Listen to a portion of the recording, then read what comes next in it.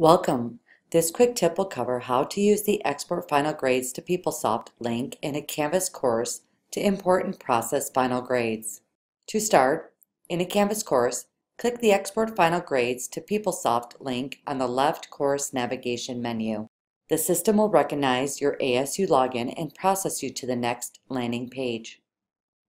If you have multiple sections tied to one course, select one section you want to import grades for and click Next. The grade import feature can only be performed one section at a time. Next, the letter grades for each student will appear.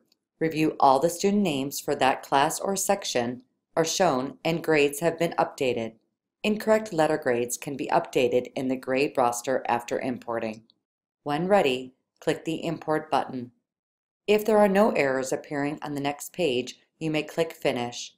Repeat these steps for other sections or other courses needed. When importing has been completed, return to My ASU, go to Grade Roster. On this screen, review and change any incorrect letter grades by clicking the drop-down menu next to the student's name. To post and confirm grades, scroll back up to the approval status and select Complete from the drop-down menu.